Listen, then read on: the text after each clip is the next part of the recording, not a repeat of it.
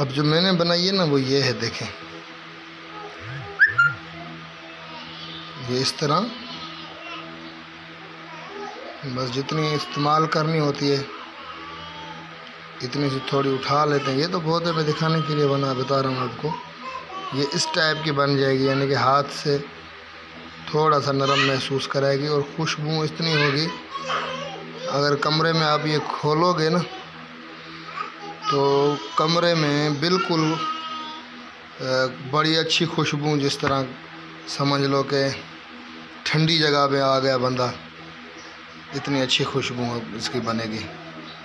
बहुत ही अच्छी चीज़ है और माशाल्लाह इसका रिज़ल्ट भी बड़ा है। ये नहीं है कि नहीं है रिज़ल्ट इसका। इसकी मकदार चूहे के मैंगन के बराबर एक कबूतर की उठानी हम लोगों ने। चूहे की मेंगनी जितनी होती है छोटड़ी, ये तो बड़ी है, यानी कि इसके आधे जितनी हमने।